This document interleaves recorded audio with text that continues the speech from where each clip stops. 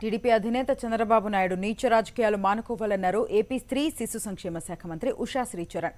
మహిళా commission chairperson Vasireddy పద్మపై టీడీపీ నేతల దాడిని మంత్రి ఖండించారు. మానసిక వికలాంగురాలిపై అత్యాచారం సభ్య సమాజం తలదించుకునేలా ఉందన్నారు. మహిళల భద్రతకు ప్రభుత్వం పెద్దపీట వేస్తుందని స్పష్టం చేశారు. పరామర్శ కోసం వెళ్ళినప్పుడు అక్కడ వేరే రకంగా ఆపోజిషన్ లీడర్స్ ఆమెని అటాక్ చేయడం చాలా బాధాకరంగా ఉంది. ఎందుకంటే పరామర్శకు వెళ్ళిన ఆ పాప కూడా పద్మారెడ్డి గారిని వాసి ఆమె ఆ పాప కూడా కౌలించుకొని బిక్కి బిక్కి ఏడ్చి కూడా ఆమె తనలో ఉన్న బాధని చెప్పిన తర్వాత స్త్రీగా ఏ స్త్రీ అయితే కూడా ఏ మాతృమూర్తి అయితే కూడా ఆమె మనసు చెల్లిస్తుంది.